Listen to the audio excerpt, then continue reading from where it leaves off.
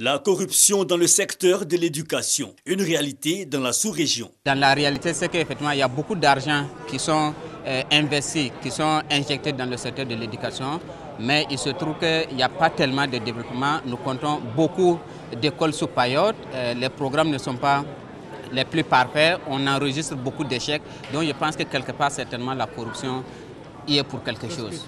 Le constat est aussi fait par nombre d'observateurs avertis. Le PNUD et l'ONG Transparency International soutiennent le secrétariat national à la gouvernance et au renforcement des capacités qui multiplient les initiatives de sensibilisation des masses.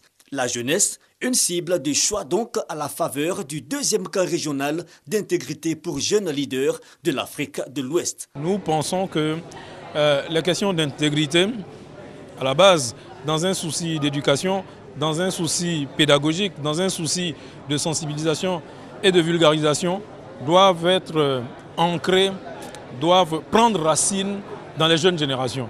Nous leur avons expliqué les cas de corruption qu'il y a dans le monde scolaire. D'abord au niveau de la mise en place des infrastructures, ensuite au niveau de la mise en place des manuels et autres scolaires, enfin au niveau n'est-ce pas, de la délivrance des diplômes, le calcul des notes.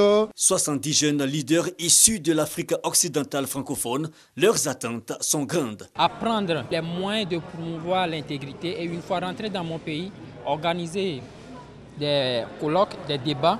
Débuté le jeudi 12 décembre, ce deuxième camp dure 5 jours. Un plaidoyer pour un cadre institutionnel et législatif plus précis est en ligne de mire.